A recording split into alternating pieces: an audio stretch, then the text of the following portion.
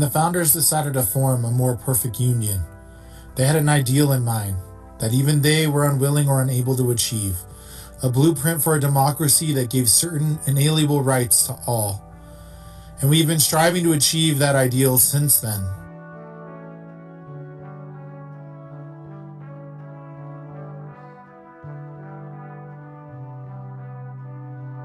I like to think of democracy as a house that we're all working to build together. A house that needs to provide safety and shelter to everyone. The blueprint indicates it is designed to do that, but we have fallen short time and time again.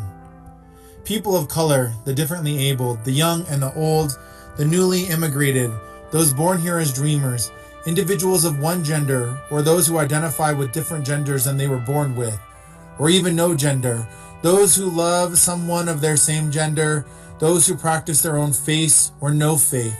The ideal of democracy is to provide equal protection for all. And lately, we look at our home and we begin to see that even our land, our air, our water, all of these deserve protection too. The ideal contained in the blueprint says that life, liberty, and the pursuit of happiness should be afforded all, and that the leaders of this country should be accountable to the people, all of whom should be assured the right to vote, and that the government should be free of corruption and serve the people. A government of, by, and for the people when I think of democracy as a house, it has to be a big house to encompass all of that and has to belong to all of us.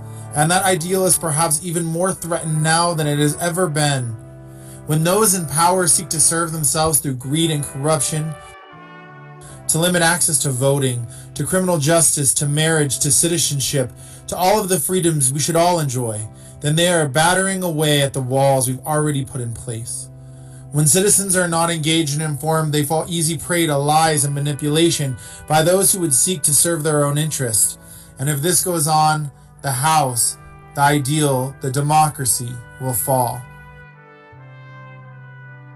The walls, the roof, the very structure of this ideal of democracy, this great house we are building is the law. Some of these ideals, these laws, are already built, but the laws must be enforced against the battering of those who serve greed, corruption, dominance, prejudice, exclusion, and even promote insurrection to stay in power. When it comes to the law, everyone needs a good attorney. In the state of Colorado, we have a people's attorney in Phil Weiser. As the son and grandson of Holocaust survivors, he brings a view of democracy and equality that can help us as we work for the ideal. As a defender of democracy, he serves to protect our greatest treasures our children, our homes, our rights, our freedoms for all of us, while we citizens continue to build the dream and make it real at last.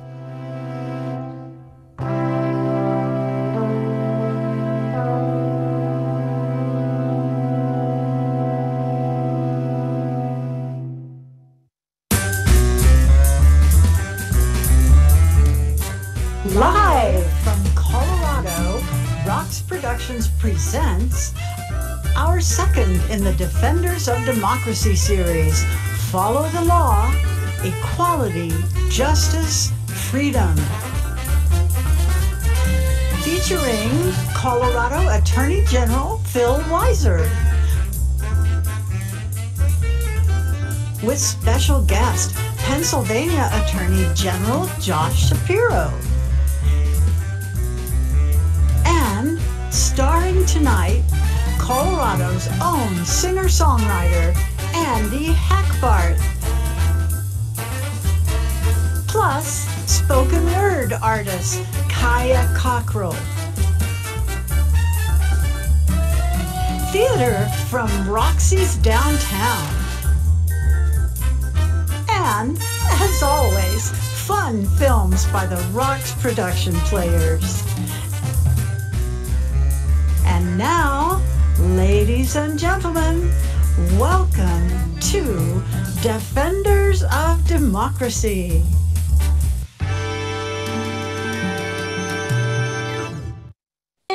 Everyone. We're excited to see you all here and to feature our own defender of democracy here in Colorado, Attorney General Phil Weiser, and his special guest, Pennsylvania Attorney General Josh Shapiro.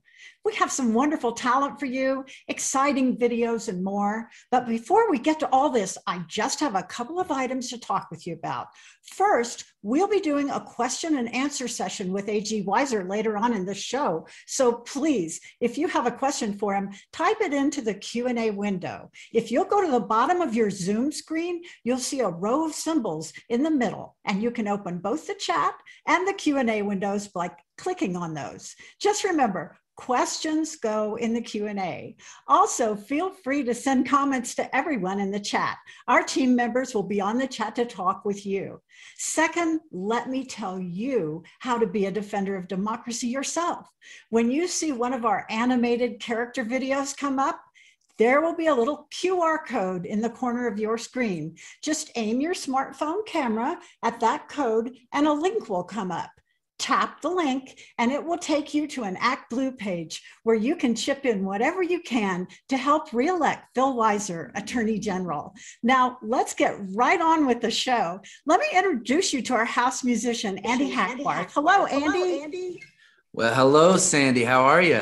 I'm good. It's so good to have you here. You have a tune for us to rock us out, right? I do. I'm honored to be here. This is a song called Tonight I Am a Gold Mine. It's about uh, you know, just ignoring the haters and doing what you feel is right. Attorney General Weiser, you know what I'm talking about.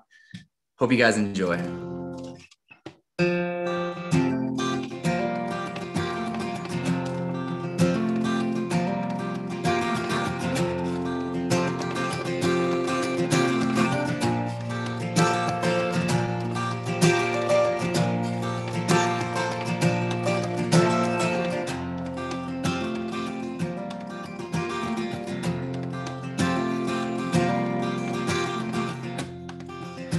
My horse never comes when I whistle. And love's been the flower of the thistle. I bury the man I am now for only what I have been, what I know I could be.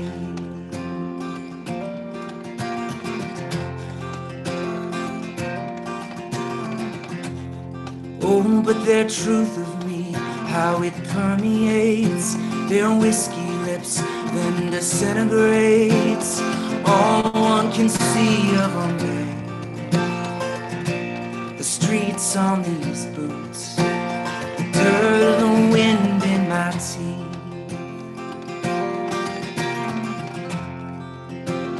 Oh, I can already see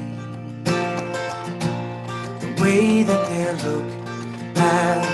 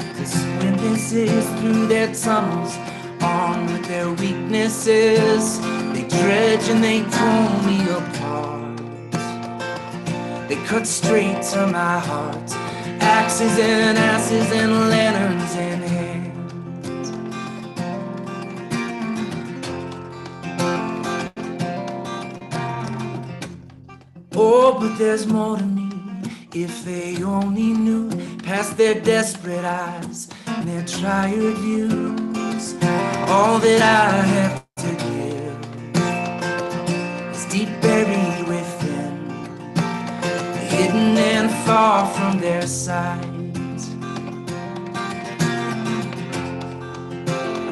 Oh, I can picture the sunrise from a hill on the high side, overlooking the shadows below.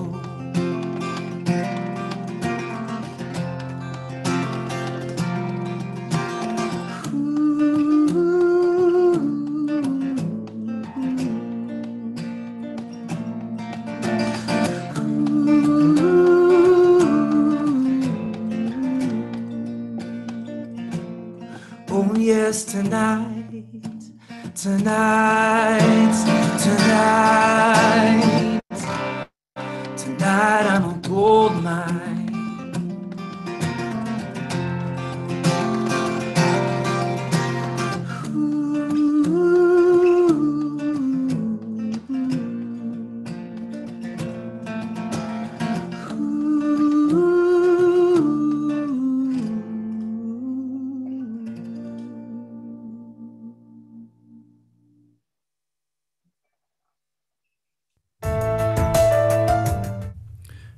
The numbers are in.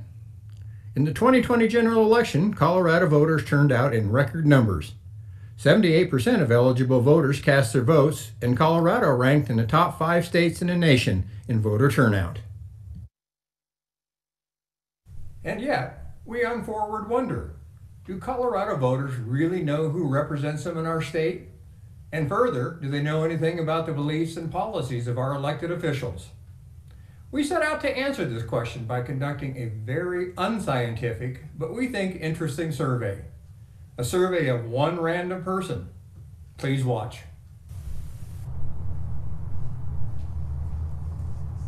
Excuse me. We're with Channel 8's news show Forward.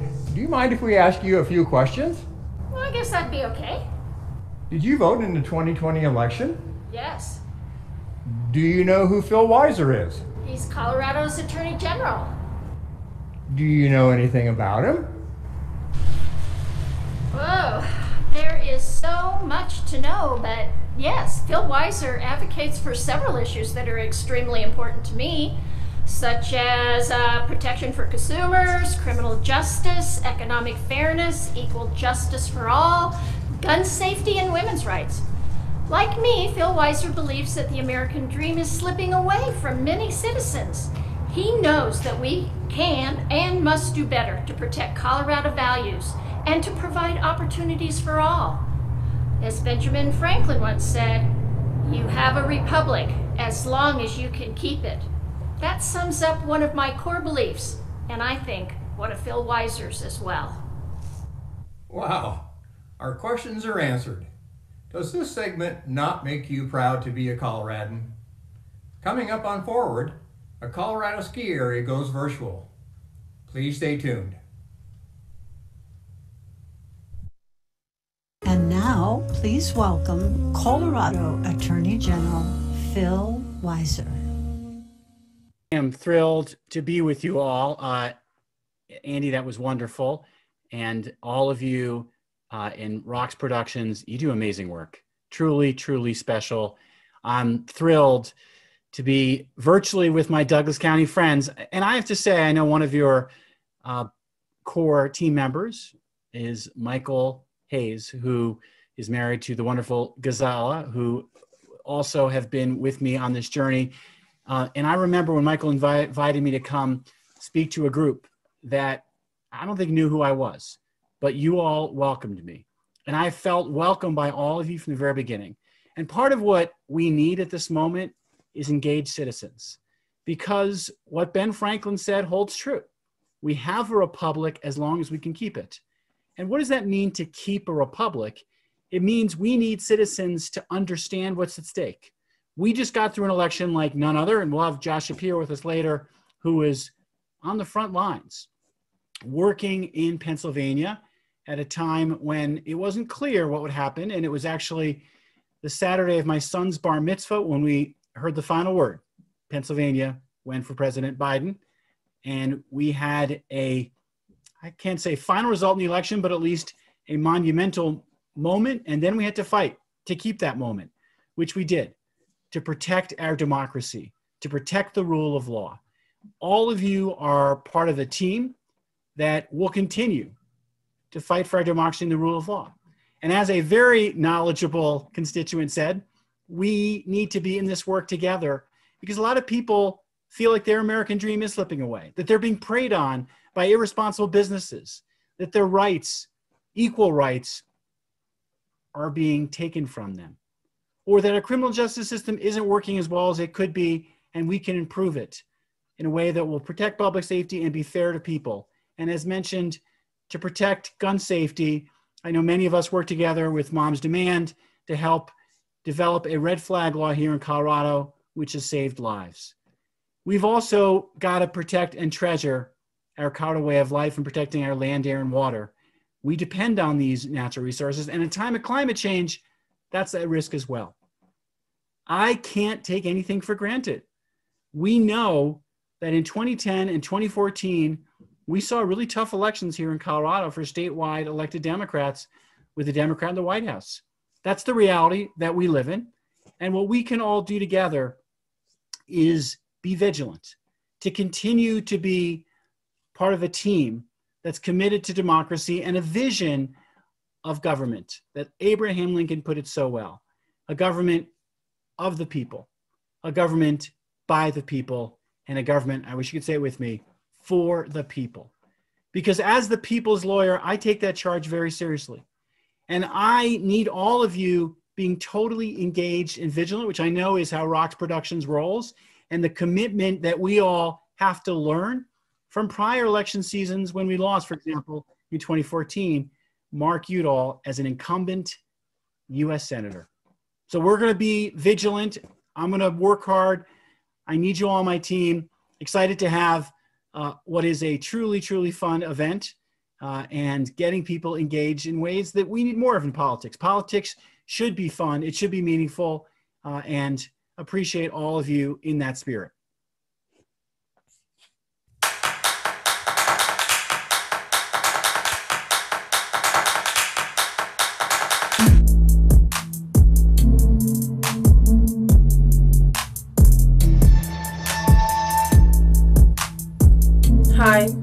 Name is Kiya Cockrell.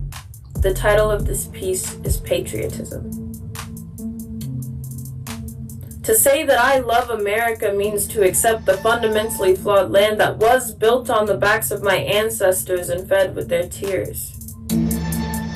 I don't know if I can say that I love America, but to say that I don't means that I don't belong here. I'd be homeless. Because if America doesn't care for me, why should I praise the cracks of a whip that carve into my back so intentionally? I'd lick my wounds to heal them, but my mouth is dry from the lack of water given to me. I'm not meant to grow here. The soil is only known to be fertilized with bodies, and I'm damaged. But don't tell me I don't love America because my skin has loved America before I knew what she meant. I pledged to her every day. And I remember saying it liberty and justice for all when they were just words to me. Before I comprehended that people who look like me are apprehended only as often as I was told that I was pretty for a black girl. And that was a lot. I loved America when she lied to me. I loved America before I knew Lady Liberty had hidden shackles on her ankles. And as I progressed, I felt that weight dragging me down. And I loved America when she was drowning. I loved her. Even when deceiving, capricious, and conniving, when living here wasn't really living but surviving. Even when she was misleading and suspicious, I was defending. All while trying to break free. I loved her so much that I got down on one knee during her anthem to propose overdue change and she rejected me. Neglected my attempt to bring awareness of hateful people causing her divide, and I, knowing that this has been going on longer than I've been alive, I go back to her. All the damage it does me to vouch for what we call the land of the free.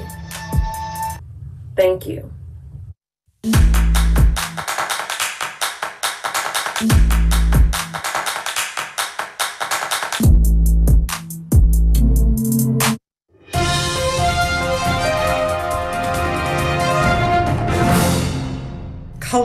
Colorado. But for how long? Your Rox reporter here with a special report on Phil Weiser, our Colorado Attorney General. He's protesting the BLM. No, people, not that BLM, Attorney General Weiser is taking it to the Bureau of Land Management, that BLM. He's protecting us from the improperly approved Uncompahgre Field Office's Resource Management Plan. The Trump administration improperly finalized and approved the Uncompahgre Plan in April 2020, and that plan governs mineral extraction and other land use activities on federal lands spanning five counties in southwestern Colorado. This reporter has learned that the Colorado Department of Natural Resources protested the plan in July 2019 and that significant inconsistencies existed between the BLM plan and Colorado state policies. Phil Weiser has said In Colorado, our public lands are critical to our quality of life and economy. Over the years, the Bureau of Land Management has taken a series of illegal actions in developing the resource management plan that harms and conflicts with our state's policies. We are bringing this lawsuit to address those harms and safeguard public lands and wildlife in Colorado. Until next time, this is your Rox reporter signing off for now.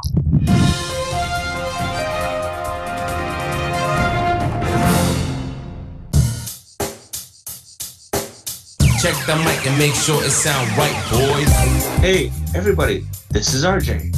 I use my superpower, racial justice, to support candidates and those serving in office who are defenders of democracy.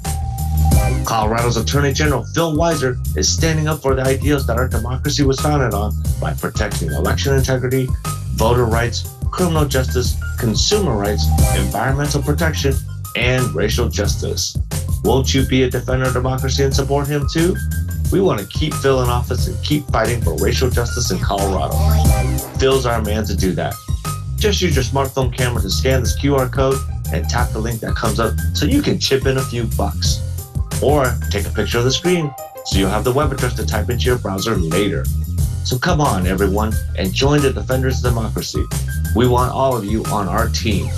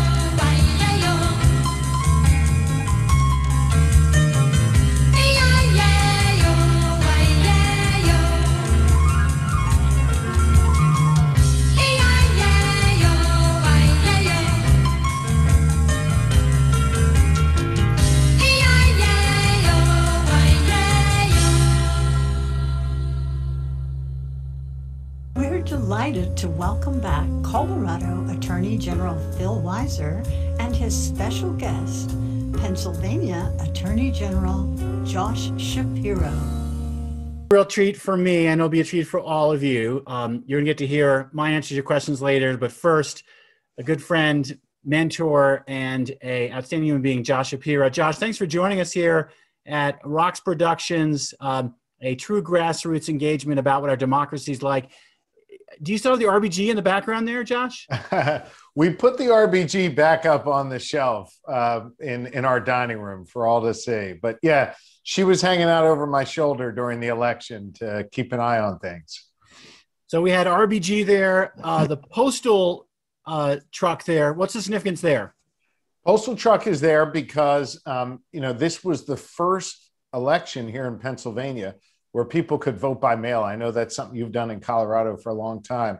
And man, our postal workers were getting beat up by Louis DeJoy, making it harder for them to just do their jobs and deliver ballots on time. So we actually had to sue the postal service in order to just let those great postal workers do their job. We actually sued them twice here in Colorado because they started delivering this information about ballots that was wrong. And so we had to right. get relief on that too. Um, it was a I'll show you one one yeah. other thing, Phil. I took him down, but he was up there for a while too. This is the count because we wanted to make sure every single vote was counted in Pennsylvania because after all, we had a former president who sued us 39 times to make it harder for people to vote and harder for the votes to count. So I had the count up on my shoulder for a while too. How many of those lawsuits were filed by Rudy Giuliani?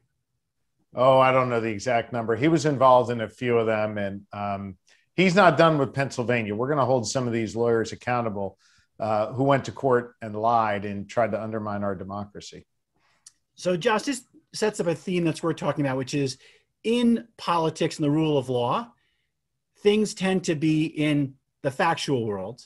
Right. In the political world, people can say whatever they want. And as long as they can win enough votes, they can keep saying whatever they want. As you think about the collision of those two worlds, how do you give people perspective on what the rule of law means and why it matters not to have politics just take over everything? Yeah. You just got to tell people the truth. Um, and look, uh, part of my truth is that I'm a proud Democrat uh, and that I'm someone who supported Joe Biden over Donald Trump. But the first responsibility I had here in Pennsylvania and you had in Colorado was making sure that every single vote was counted. Every single legal vote was counted, no matter who they voted for. And so I just tried to be calm, tell the truth, make sure people understood the facts, make sure people understood their rights, and as much as we could, depoliticize our work. Again, not hiding who I am and what I'm about, but just depoliticizing our work and letting every person in Pennsylvania know that they could count on us. As I know every every Coloradan knows that they can count on you. I mean, you're one of the one of the rare AGs that brings um, smarts, political savvy, and an ability to to get shit done. If I could say that, um, it is this true. Is, this you is really... recorded, Josh. So I think that's that is an acceptable expression. All um, right. I, I, appreciate that very much. You know, I remember talking with you. We had a case that was going to the Supreme Court last year about the Electoral College, and right. the question was, could you have these rogue electors, faithless electors, doing whatever they wanted, or they have to follow what their state said? And you basically said to me, Phil, you should argue this. This is yep. your bailiwick, and I followed your counsel on it. And thank God we won that because that was one less thing we had to worry about this past fall. Man, thank God we won that. And I'm so glad we had that conversation. I was picking my kid up at a soccer practice. There was a lot of noise in the background, I remember. And we had that conversation. And to be honest with you, I was a little bit anxious about that case, just given what we expected Donald Trump to do to try and undermine the election, but I was calmed knowing that you were going to personally handle that case. Uh, and it was not only important to Colorado, it was important for all of us. And thank God you did that. By the way, we could have a, a much longer Zoom about the Electoral College. I think it's probably time we abolish that and just get to a straight popular vote, but that's for another conversation. Thankfully, uh, you did what you needed to do in court, and it helped all of us across the country. So, uh, a couple more things on that. I don't know if you realize this. That was the last case that Justice Ginsburg heard argued, mm. and I was the last person to speak before. So that was very meaningful. Um, I'm sorry I never got to hear her talk about that argument, but yeah. it was uh, it was powerful to be there. So I want to underscore something that a lot of people here in Colorado may not realize. It's something that I think is part of what makes you so special. You won Pennsylvania by 4%, right? Yeah, about that, about 350,000 votes. Yeah. Joe Biden won by 1%? Yeah, about 80,000 votes. So that means there are 270,000 people yeah. that didn't vote for a Democrat for president, but voted for you. That's right. For those of us in politics who want to win and, as you put it, get shit done, in order to get shit done, you got to win. Yeah. That obviously is an instructive case study. Mm-hmm. How did you build faith as a proud Democrat, as someone who's committed to advancing an agenda about Yeah. helping people that didn't get sort of swallowed up by all the noise? Yeah. Because these days we don't see as many swing voters as we used to. What, what's your secret? you got to show up, man. Um, you know, not just in Denver, but also Las Animas. I bet you're surprised. I know where Las Animas, Colorado is. But for me, um, it was about showing up, showing up in the rural parts of our state and the southwestern parts of our state where Democrats just kind of stopped paying attention. Um, and we went there and we listened. And I recognized that showing up as a guy who is going to you know, fight like hell to protect a woman's right to choose, or our LGBTQ brothers and sisters, or joining you in fighting for dreamers. That's not exactly something that voters in those communities necessarily agree with us on. But here's what they realize they realize that for too long, they've been getting screwed by government and screwed by big corporations and not getting the help that they need. And so I stepped up to protect their health care and I stepped up to get them their money back when they got fleeced. And I stepped up to, you know, make sure that they were getting basically the benefit of the bargain, right? And so I think that voters in those communities respect you when you show up, respect your hard work, and tend not to be as ideological as maybe the folks in DC want to suggest they are. What they really want is government to work for them. And so I really pride myself on making sure government works for people no matter what their ideological views are.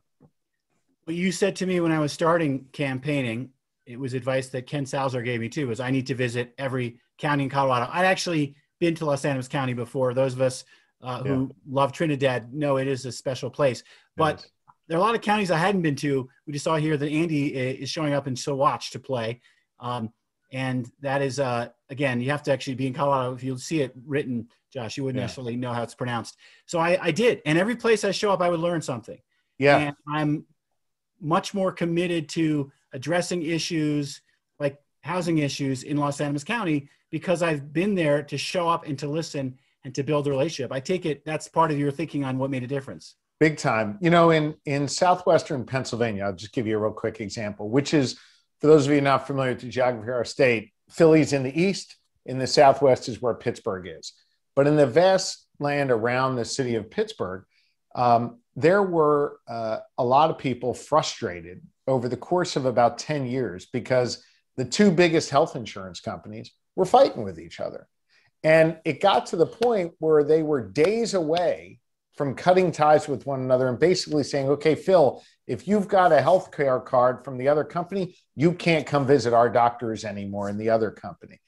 People really worried, right? Parents worried about t- not being able to take their kids to their doctors and people worried about, you know, not getting their next cancer treatment. And because I showed up in the community over and over again, when I would stop to get gas, people would talk to me about it. When I would stop to get a quick cup of coffee or a bite to eat at the diner, people would come over and they would talk to me about it. I knew it was on their mind. I knew it was critical. And we ultimately were able to work out a deal to protect the healthcare for 1.9 million Western Pennsylvanians. But it was showing up and getting a feel for the issue that allowed us to ultimately get a deal done and, and protect their healthcare. There's no substitute for showing up. And you know, you you you learn a lot, as you said, you earn people's respect, and then you get stuff done for them.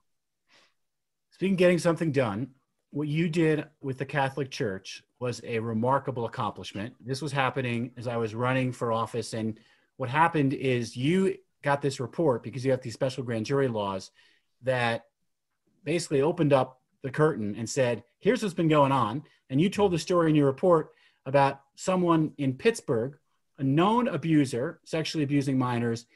What did they do? They sent him to Colorado. So it was no longer a problem in Pittsburgh. And so that opened the door, starting with my predecessor and then me, to ask our archdiocese, Oh. well, what secrets do we have here? And survivors wanted those who abused them to be called out because some of them had lived with their abusers being celebrated while they lived in silence.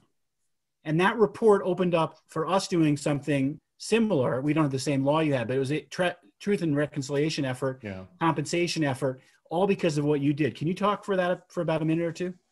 Yeah. First off, thank you for your leadership on that. I mean, just very briefly, we we took on a massive grand jury investigation uh, into started as allegations, then they were proven um, the abuse of literally thousands of children in Pennsylvania at the hands of at least 301 predator priests in a conspiracy and cover up that went from dioceses all across Pennsylvania all the way to the Vatican. And we connected those dots and we proved our case. Several predator priests are now behind bars. Um, others were outside the statute of limitations, so we couldn't charge them, but at least the truth finally came out and survivors got a piece of their life back and they were heard. Um, other states like yours convened similar investigations. The Pope convened a global summit to address uh, this type of, of sexual abuse. There's so much more work that needs to be done. But for the rest of my life, I'm changed because of the strength of these survivors. The fact that some of them, a guy named Bob Corby from Bethlehem, Pennsylvania, he went 65 years, an entire marriage, the birth of several of his own children who he could never hug with his own arms. He went all those years keeping the truth inside until our grand jury came along and he was able to share his truth. Just one example of, of many. And I continue to fight for these survivors, continue to do everything I can to expose um, institutional sexual assault, no matter where we find it. Uh, and I think we're better off in Pennsylvania because the truth is now known. Let me touch on one more topic also about predators, those who pushed opioids. Companies like Purdue Pharma, owned by the Sackler family, made billions and billions of dollars. Knowing what they were doing was harmful. And with a crisis in this country, like no other nation on this planet, 2020, we saw more deaths from drug overdose, mostly opioids, Yep. than any other year. Uh, you probably know people personally, as do I, whose lives have been deeply harmed, devastated by losses of kids, brothers. Uh, talk a little about what inspires you on that work. Um, the mom that hugged me in Beaver County and and wanted me to hold a picture of her son and told me his whole life story. Um, and and there are dozens and dozens of examples um, of that. Uh, for me, it's fighting for those people who have lost their lives, oftentimes through no fault of their own. They got addicted to a pill that people like the Sacklers went around lying, saying wasn't addictive. Um, people, you know, four out of every five heroin users who are buying heroin on the streets of Philadelphia or wherever um, started with one of those pills. That's what got them addicted in the first place. And so, you know, for me, we make arrests of drug dealers all the time. But, you know, as we go and make those arrests, we know that we need to cut off the supply chain. Well, the supply chain isn't just on street corners, the supply chain starts in the boardrooms of pharmaceutical companies. That's where this crisis was uh, manufactured. And so, for me to be able to partner with you in holding these pharmaceutical companies accountable, making sure that um, they're going to pay for treatment for Coloradans and Pennsylvanians, that's incredibly important. And so, I know uh, you and I are probably along. You know, we're we're coming down to maybe the five yard line here. We got we got some more work to do, but I think we're close to being able to, to deliver some real money uh, and real resources for treatment for our communities to make up for the crisis that they manufactured in their boardrooms. Last question for you. We're living in a time of real distrust in our institutions, in political leaders. When people say to you, Josh, how do I know I can trust you? Or what gives you your true north so you're not going to end up getting um, down the wrong road? How do you respond? Look, trust is earned. Um, I've been people the people's attorney general here in Pennsylvania now for four and a half years. I level with people whether it's good news or bad news, and you just try and earn that trust over time. Um, you just you know chip away every day at the cynicism that that exists in our system. I mean, don't get me wrong, Phil. The you know, we we won all of our lawsuits. You won your lawsuits to defend the the voters in in your state and and in mine. But make no mistake, the toxicity of Trump lives on. And 70% of Republicans think Joe Biden wasn't legitimately elected. About 65% believe that voter fraud uh, was the number one issue in the 2020 election here in Pennsylvania, which, you know, there just wasn't that type of widespread voter fraud they're talking about. And so I think the way we combat that is by telling the truth the way we combat that is by appearing publicly and speaking truth, by having government documents like the Inspector General's report that came out the other day um, that debunked a big myth about votes being stolen here in Pennsylvania. I just think we have to keep chipping away with truth. And, you know, look, guys like you are trusted in your state, and you have a responsibility to not just bring great cases and prosecute people, but by speaking the truth. And hopefully um, in, in our system, we will get back to a common set of facts, even if we have political disagreements, that's healthy, but get back to a common set of facts. And the way we do that is guys like you and me speaking truth. And that's what I'm trying to do. And that's what I hope, uh, thanks to the generosity of so many people here tonight, um, you're going to be able to keep doing for at least four more years. Some of them are joining too, by the way. They're so inspired by you, Josh, uh, rightly so. Final question. This is NCAA March Madness. You come from a great basketball town who do you root for? Are you a Nova fan? Yeah, I'll be rooting for Nova. Their game, I think, is at eight o'clock tonight, if I'm not mistaken. Um, yeah, you always root for the Pennsylvania teams. This is a weird March Madness too. Some of the big squads are not in it. You know, COVID is kind of wreaking havoc, wreaked havoc on the season. Hopefully, uh, the the bubble will work. Um, I'm just a big hoops fan. I'm more of a professional uh, hoops fan. I'm a big, big Sixers fan, but I watch every bit of hoops I can. All right, so let's talk for final minute on that, which is, did you catch CU beat Georgetown yesterday? Handle. I did not. I did not. I saw you tweeting about it though. Yeah, of course, because uh, Patrick Ewing, you know, was a big deal. He was getting all this props for winning the Big East tournament. CU wins. We're moving on. I've got yep. CU in my bracket going to the Final Four.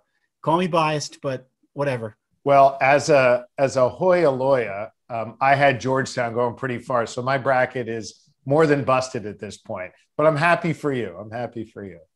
All right. Well, listen, maybe we'll get uh, the 76ers against the Denver Nuggets in the NBA championship. We can make a bet on that. Let me just tell you something, man. They are good. Denver's really, really good. Um, but I, uh, I like our chances. I really do. All right. Go enjoy the game. Thanks for joining me, Josh. Appreciate you. Hey, good to see you. Hey, folks, thank you for uh, supporting Phil. We need him in our ranks. He's doing, I know, important work in Colorado, but he's really leading the way across the nation, inspiring a lot of us. So, whatever you donated tonight, um, add a little bit more to it if you're legally permitted, and make sure we get this guy back. Okay. Thanks, everybody. See you soon.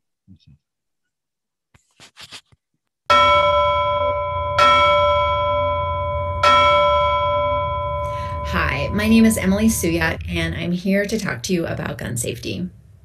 In 2018, I went to a house party to meet the Democratic candidate for Attorney General, Phil Weiser. You know the kind of event I'm talking about. It's really small, informal, good snacks. I should have been relaxed, but I was psyching myself up to ask a question about gun safety. And I was really nervous because even though a majority of Americans wanted stronger gun laws, if someone asked a candidate to take a stand, you'd feel the whole room tense up. It felt really risky. Another candidate had told me privately, I support you, but I'm not going to do it publicly. My opponent will use it against me. Many of us also remembered 2013, where legislators were recalled and lost their jobs specifically because of their gun safety votes. So many of us still believe the myth that the gun lobby was all powerful. But let me tell you about Phil Weiser at this house party. Before anyone could ask him about guns, he brought it up himself. He spoke directly about gun violence prevention and publicly, intentionally made it part of his platform. He treated gun violence like the public health crisis it is. Phil Weiser and candidates like Jason Crow and Tom Sullivan were all on the front line of a huge change. Candidates who ran on gun safety instead of running from it. They know it's a winning issue. Right now in Colorado, we have a majority of lawmakers who are making gun violence prevention a priority. Research shows that stronger gun laws mean fewer deaths. Our ERPO law didn't pass the state legislature until 2018, and so voters elected new leaders, and it passed in 2019.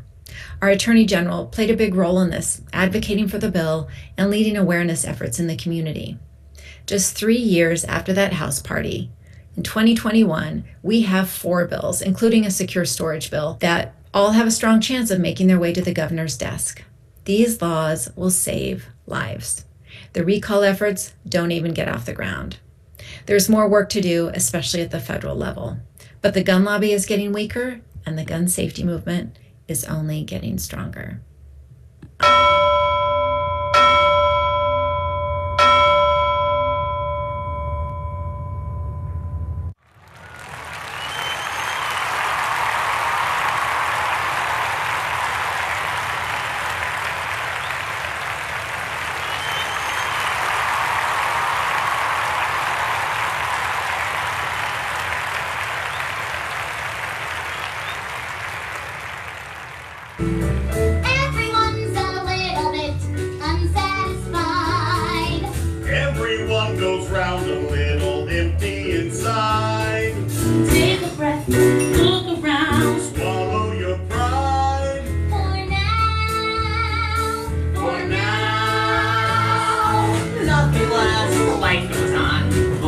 Surprises.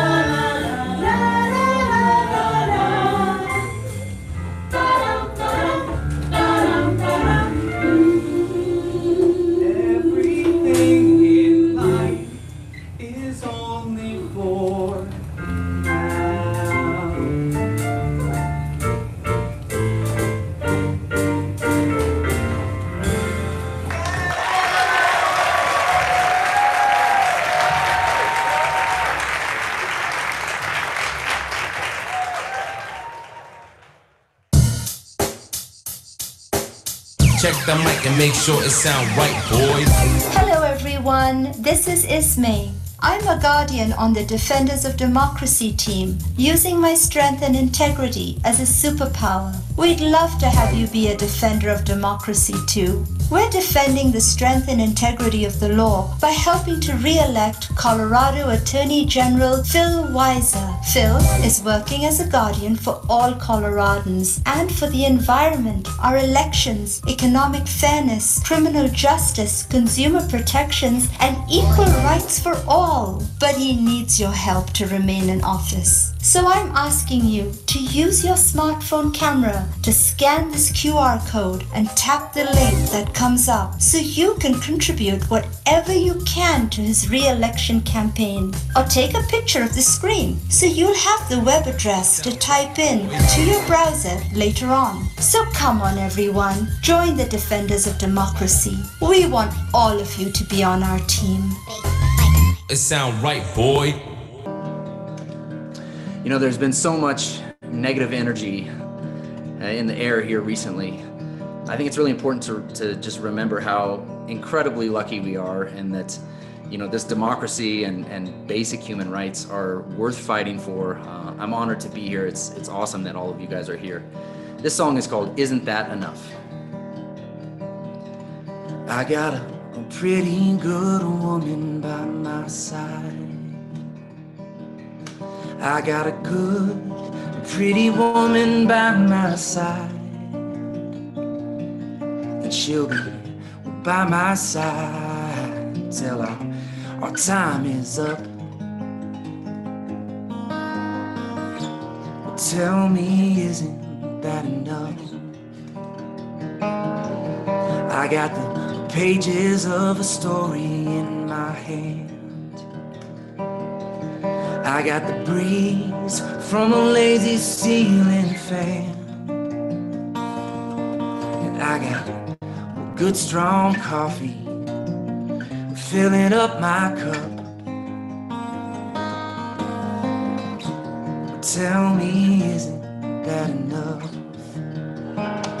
Ain't it enough to be happy? Enough to be free? To have everything that a, a human should need? A little blood on my knuckles, a little dust on my knees, and an afternoon spent looking up at the blue sky through the leaves of a walnut tree. I don't have my dobro player here today, so uh, here's a mouth trumpet solo.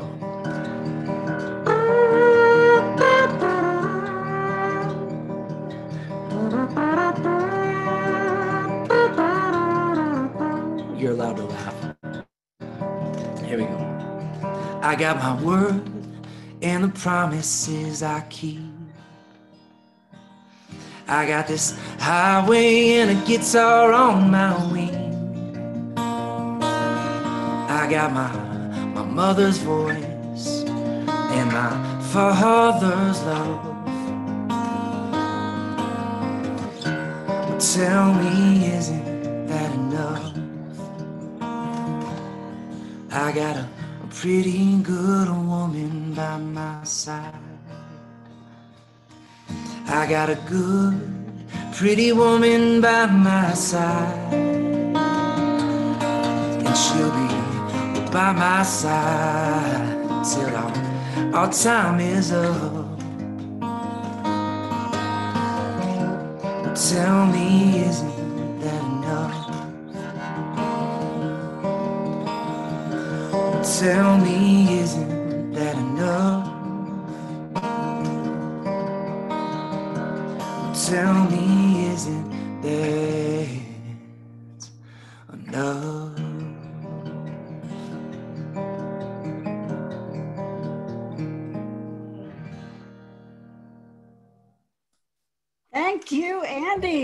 Hello again, everyone. Andy, you can play mouth trumpet anytime at one of our events, and we hope to have you back.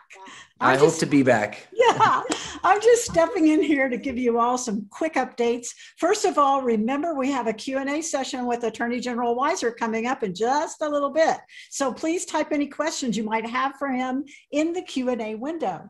Our team members will be monitoring your questions and we'll try to get to as many of your questions as we can. I also want to remind you real quickly that when you see one of our animated Defender of Democracy superheroes on the screen, that's the time to have your smartphone handy so you can donate using your phone's camera. Just scan the QR code with the camera like you're going to take a picture of it, and then a link will pop up, and you can tap the link to be magically transported to the page where you can donate to be a defender of democracy too.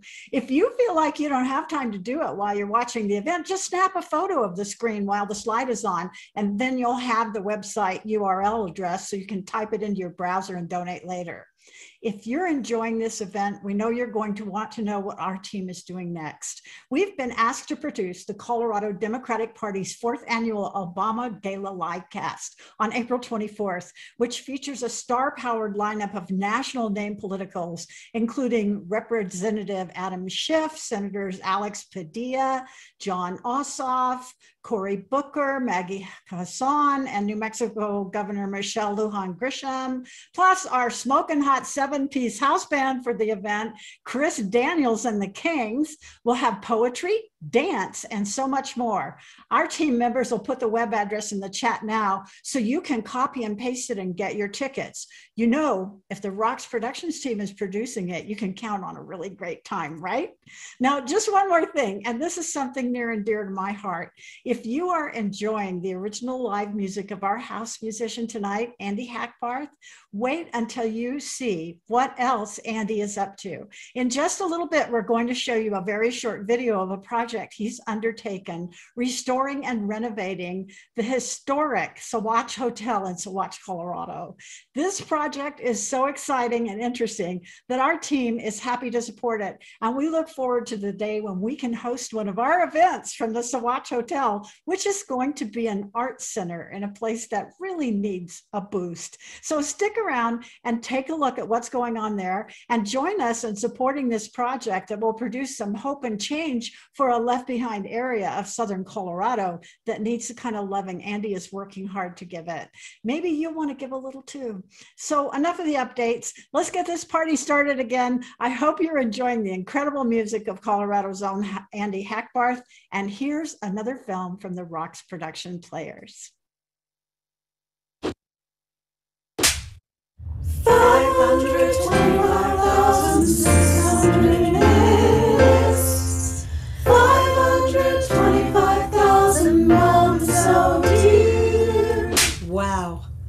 This song celebrates 25 years since being written for the hit Broadway musical Rent. 25 years! Rent tells the story of a group of impoverished young artists and musicians struggling to survive in New York's Lower East Side. It resonates with anyone who's struggling with life. This particular group of friends grapples with addiction, eviction, sexual identity, aging parents, materialism, and the yearning to leave a meaningful legacy. At the time, the AIDS HIV epidemic was raging. So here we are 25 years later, in the midst of a global pandemic, still dealing with equality and equity regarding the LGBTQ community, housing, education, women's health care, and equal pay for equal work, voting rights and protections so that every citizen's voice is heard, criminal justice policy, illegal discrimination, or the possibility of targeted hate crimes, which put all of us at risk. The list goes on and on. Our Attorney General, Phil Weiser's job is to advance the principles of justice, freedom, equality, and fairness for all. It's a core part of his life's work to translate that vision into reality. We need dedicated leaders like Phil Weiser who are committed to equality and equity for all Coloradans. How are we doing? We've just spent 13,140,000 minutes since this story, Rent, was written. We need Phil Weiser to carry us forward. Now it's time for us to get some answers to your questions from Attorney General Weiser. We have a lot of uh, questions, relayers. I hope so. They've been gathering questions from the Q&A window and would like to ask you some of them. Are you ready, Phil? I'm ready. I just have to start by thanking all the people, starting with you, Sandy, who put in so much time, creativity, and spirit to developing such a meaningful tapestry of conversations, of art, of civic engagement. It is truly inspiring. This is what politics should be like. Thank you. We have a lot of fun, and our motto is we produce hope and change. So we're hoping that that's what we're doing with these events. But you have been on nearly every one of our events, Phil. So we owe it to you to show you some loving because you have helped us with so many other candidates and causes. Thank you. So first up, um, you know this guy. He's the vice chair of the Colorado Democratic Party and the voice of our animated superhero, defender of democracy, RJ, which is for racial justice, his superpower. It's our own team member, Howard Chou. Howard, would you like to ask General Weiser a question from the Hey, audience? before he does that, how awesome was Howard at the Democratic National Convention with his family at Red Rocks? that was special. Thanks, Phil. Really appreciate it. Uh, thank you, Phil. I, um, I have a question from Deborah McKillop and actually from many others uh, because I know how engaged you've been.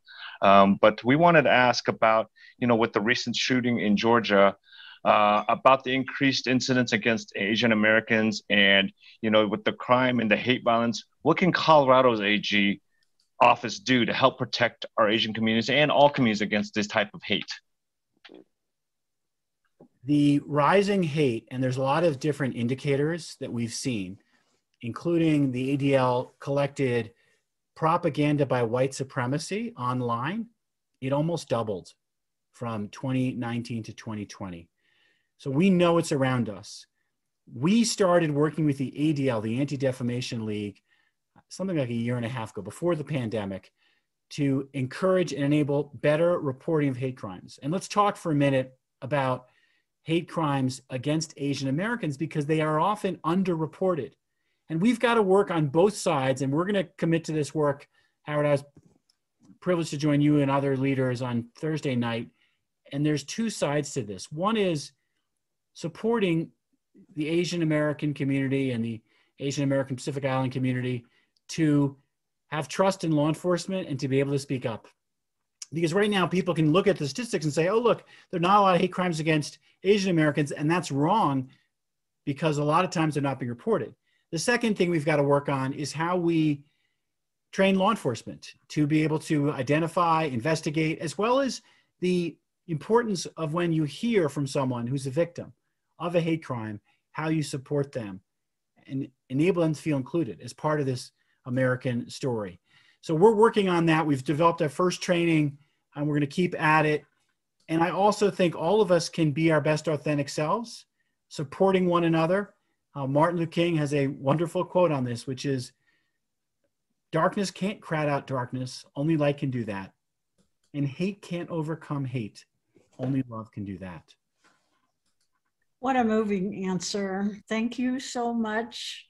Um, next, we have another guy you know, Phil. He is a veteran, a father of three amazing kids, and a caring member of his community who is continuing his candidacy to unseat Ken Buck in Colorado's 4th Congressional District, Douglas County's own Ike McCorkle. Ike, come on in and let's see what question rose to the top of your list from the audience. Yeah, well, first I just want to say thank you so much um, for having me back again, uh, Sandy, Rox Resistance. Um, you guys are an amazing team. This is the best production I've seen. And uh, Phil, uh, Attorney General Weiser, um, uh, it's a really honor uh, to be here uh, in support of you again. I had the honor to campaign for you back in 18, and so I'm certainly going to do so again. And we got uh, so many great questions just flowing in here. There's no way we could possibly uh, answer them all about protecting voting rights, about uh, vaccinating prisoners against COVID, about bringing back the fairness doctrine, about uh, homelessness sweeps in Denver. And so we have a whole lot of really engaged, concerned citizens on tonight. And so I just want to thank everybody for being here. And uh, I'll get on to the question I need to ask, uh, which is one of- from one of my constituents. And I'm happy to be able to ask it because it's actually the practice question I wrote because I got asked about it uh, by a few of my constituents uh, throughout the 2020 uh, cycle. So, uh, Jillian Hickson from out in Lamar, uh, Colorado, uh, writes uh, Hi, Attorney General Weiser. Uh, I don't know if you'll remember me, uh, but we had coffee in Lamar three years ago, where you graciously listened to my family's story about the horrible debacle of conservation easements and the injustice caused by the Colorado Department of Revenue and the wrongful clawback of tax credits that caused bankruptcies for hundreds of farmers and ranchers uh, throughout Colorado. As you may be aware, uh, legislative bill SB 21033 has been introduced to finally help repair the damages uh, to farmers and ranchers uh, caused by the CDOR. Um, may we count on you for your full support of SB uh, 21 Tech 033 uh, to correct the uh, decades of atrocities um, that were inflicted uh, on these families and farmers and ranchers in, in their communities. Well, I remember that coffee fondly, Jillian. Uh, that that's part of what I was talking about with Josh Shapiro is when you're committed to going all across the state, you learn a lot. And I hadn't heard about conservation easements before you gave me an education. Um, I've been trained by my legislative uh, director not to comment on bills that I haven't yet looked at yet, just because I'm not sure all the details. But I, I do recommend, I, I do uh, remember fondly that visit, and I um, want to make sure we're treating people fairly. So please do feel free to uh, follow up, uh, and I will uh, for sure be in touch um, with my ledge person to get a sense of what's happening on that. And I um, I know that a lot of people in uh, community where you live were affected by it, and, and we need to make sure that we're treating everybody fairly. So I'll I'll take a look at it for sure. Thanks for raising it, and thanks for joining me for coffee. A lot of times when I was a candidate, I'd show up in different communities, and it might be like one or two people were there, and so I just visited with them, and I'll keep coming back and look forward to seeing you in the future. I love that about you, Phil. I feel like anyone could sit down and have coffee with you. And listen, I want to say we are so proud to host people from all the way out in Lamar, Colorado, which is practically in Kansas and Oklahoma and might as well be in Texas. It's so red. So um, thank you for coming to our event. Thank you for asking a question. And if you have time, would you take another question? Oh, From yeah, us, of course. Okay. Um, just tell me when you're getting tired or, you know, ping me on the backside, whatever. Anyway, finally, our own team relay lead, lead our storyteller, our question asker, our video maker, and all around great member of our team, Karen Jefferson, has a question for you. Attorney General Weiser, this question comes from Michelle Mead. Uh, Michelle points out that you speak with such empathy and emotional intelligence, and that as allies, how can folks address questions like dark money, uh, criminal justice reform, with that same empathy um, when we're kind of tired of it? Michelle, you are such an extraordinary, engaged citizen. We, we, we are such a better state for your leadership. And part of what you represent, for those who don't follow Michelle on Twitter, I, I would recommend it. You're, you're working on improving yourself. So you're the answer to this question. All we can do is work on being our best authentic selves. And part of it, empathy is humility. You know, there's that great expression until you've walked a mile in someone's shoes, you don't necessarily know what they're going through, which is why listening matters so much. I mean, I've learned a lot about opioid epidemic or victims of childhood sexual abuse, things that I haven't experienced personally, but friends and allies have. And by listening and understanding, you can take on a real commitment. You can take on under you know perspectives. Um, sometimes these issues are hard because you're dealing with different people who are experiencing different sides of it. And so you need to be open to all the sides of a problem. And a lot of these problems require that empathy. I'll give you an example. I am proud of the extreme risk protection order law we have. And I went to, you know, very red counties and I heard concerns about it. And I showed up and I listened to them and I tried to see if there's anything in their concerns that I could work on implementing this policy so that it didn't have the effects they were afraid of. Uh, and that's all we can do is try to listen with an open mind, open heart, and be our best authentic selves. And, and you do that, Michelle. Yeah, that was a great answer too. Listen, if you're willing, I'd like to do another round of questions. Yeah, go How for do it. you feel about it? I mean, we never get a chance just to talk to you. We always have you on and you know give you a few minutes, and this is your show. So could we go again? go again. Howard, have you got a question? Hey, Phil. Um, we sure do. Um, we have another question, and uh, from David Hagan. He says, "What is your stance on the classes CORA process? For many folks in Colorado, paying hundreds and sometimes thousands of dollars to be granted public information, it isn't equitable. If you're committed to equality, um, he's asking if we should stop charging citizens."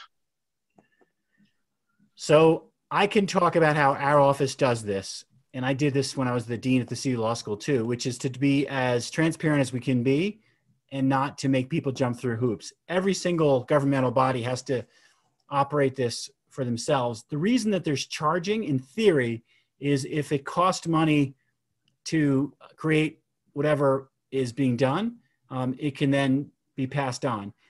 I am interested in hearing from people when they've experienced abuses to a process like this. And so if you believe you have been subject to abuses and the process isn't working as it should, um, please do feel free to follow up in our office. You can go to uh, coag.gov and uh, reach out to our office with concerns, feedback. Happy to hear more of it. Um, I can't give you a lot of detail because depending on what government you're talking about, you could be experiencing a different sort of situation. Douglas County, for example, they've got their own CORA approach. Um, I can only speak for how my office does it. And obviously, if the legislature takes this issue up, it could become uh, a policy issue that Colorado could decide, hey, let's do it differently. How about you, Ike? Have you got another question for the Attorney General? I sure do, Sandy. Thanks so much. Um, yeah, I do have another great question here um, from Jillian Hickson and another from uh, John Clark. Um, but uh, he says, when can we hold media giants, or how can we hold media giants accountable uh, to provide uh, leadership to filter out uh, hate language? And um, one of the other questions uh, we had received was um, Is there a way to ensure that there's truth uh, in media and political speech doctrine? I don't know if that's um, a possibility, but that was one of the questions. And then uh, Jillian asked how she can get in touch with your office, and I'll get her in touch with your office. Yeah, But, uh, and yeah. I'll just answer that. This is good for everyone to know. Um, coag.gov gives you the basic portal to our office. Also, if you're looking about consumer fraud, you can go to stopfraudcolorado.gov and you can report it there. So, Jillian um, and uh, John, this is a, a painful, important topic. Unfortunately, we're going to need national legislation to oversee these tech platforms and how they manage what information people see or don't see. If something gets taken off a platform and it's something which is fair and true and should be staying on, I don't know if Congress is going to be able and up to dealing with that. I would sure hope so.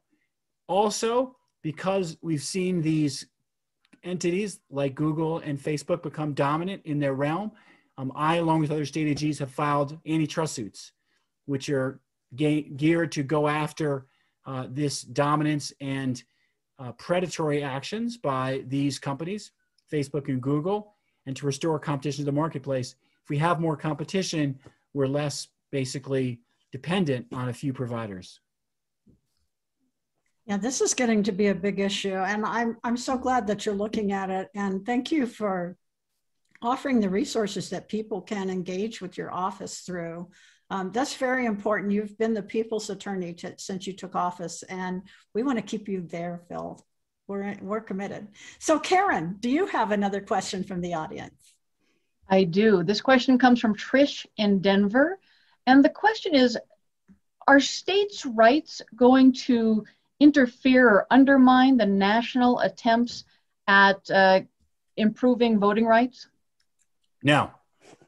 It's very clear under the 15th Amendment that Congress has the power to protect voting rights. And I will continue to fight for voting rights. There's a case now on the Voting Rights Act at the Supreme Court that we're involved in to protect Section 2 of the Voting Rights Act. As we were talking about with Josh Shapiro and I, this is one of the most fundamental issues we face. Can people vote safely, securely, without facing discrimination or a disparate impact? Just take, for example, in Georgia last year, during the primary election, there was not the accessible voting there was in the general election. The average wait time to vote, communities of color, was 55 minutes. In white communities, it's six minutes. That is an affront to fair voting rights. Wow. I, I mean, that's that just lays it out in numbers. Um, you know, we're running so long. I wish we could talk all night, but we have something uh, coming up that will help people show support for Attorney General Phil Weiser right now. And we want to say thank you for letting us ask you questions. Everyone, stay tuned because here comes E. Check the mic and make sure it sound right, boy. Hey there, familia. This is E, your defender of democracy with the superpower equality. Our Colorado Attorney General, Phil Weiser, has been working hard to defend equality while in office and to preserve and protect our elections, our land, air, and water, and defending the rights of immigrants, criminal defendants, consumers, and more. So we hope that you can help keep him on the team by chipping in a few bucks to help re-elect Phil so he can continue representing the people of Colorado, our freedoms, resources, and especially our equality. Listen to E now. Fill around those couch cushions and check your pockets for some change. And give him some love, won't you? Just use your smartphone camera to scan this QR code and tap the link that comes up so you can chip in a few bucks. Or take a picture of the screen so you'll have the web address and type it in your browser later. So come on, everyone, and join the defenders of democracy. We want all of you on our team. It sound right, boy. Welcome to Storytime from Rox Productions Defenders of Democracy series. Today's story is Wiser Tales True Stories of a Colorado Attorney General. Once upon a time, in a land very nearby, there was a place called Hunky Dory with mountains, streams, and a wide open plain where the sky was blue and the air was thin. People gaped in awe seeing its beauty for the first time. In 2018, the people of Hunky Dory made a wise choice. They elected the People's Knight.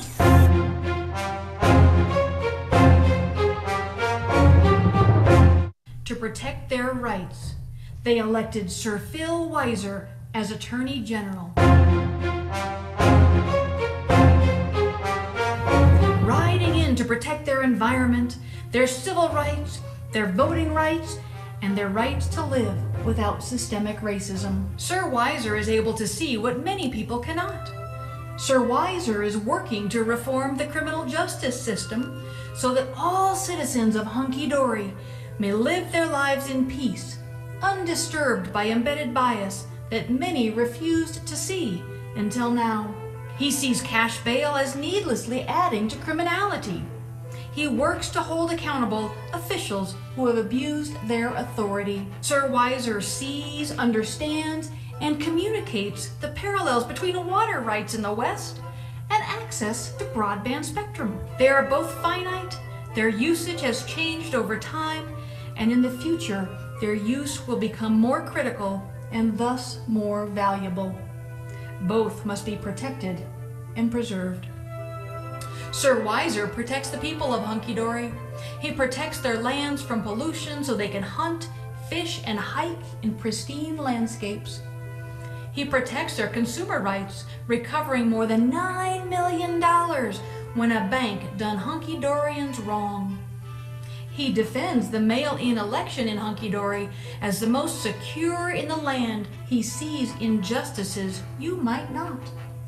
He rights wrongs.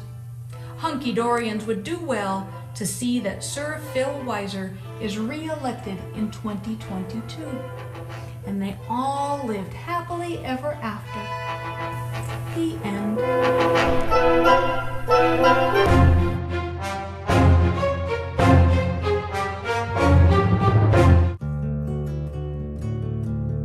Hello, everyone. My name is Andy Hackbarth, and welcome to the historic Saguache Hotel here in Saguache, Colorado, which, if you don't know, is about 45 minutes south of Salida. It's at the north end of the San Luis Valley. We have hot springs, ski areas, hiking, biking, fishing. It's a, a beautiful area.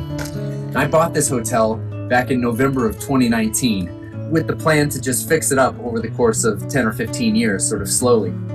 I was working on cruise ships as a guest entertainer, a musician, when the coronavirus hit. I got stuck in Dubai for a few months. So when I finally came back, there was no work. I said, let's just dig into this project full on. The exciting thing about this renovation is we're combining historic preservation with, you know, sustainability and alternative energy practices. Everything from, you know, passive and active solar to, you know, super efficient biomass masonry heaters. We're using infrared ceiling panels, hempcrete for insulation, all sorts of things like that. So it's really sort of combining the old and the new. And we have a, a huge focus on live music and art. This exterior lot here is going to be a, a beer garden with a big stage, live music going on there. The bar and coffee shop inside are going to be uh, very live music focused. We'll have art gallery inside. I'm going to be doing shows with the historic uh, youth theaters, bringing in speakers. So this is really going to be a cultural hub.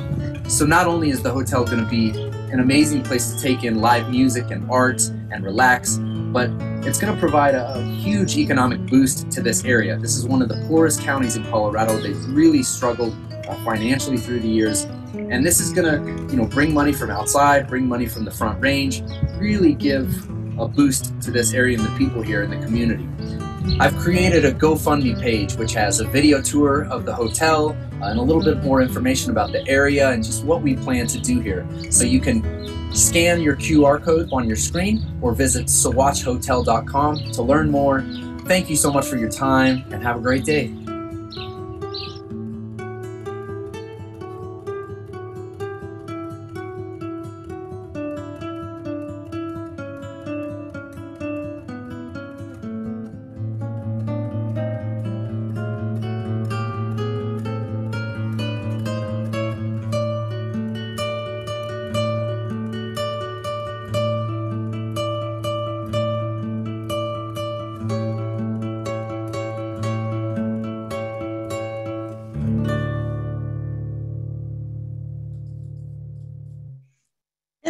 A Watch Hotel renovation project an exciting one?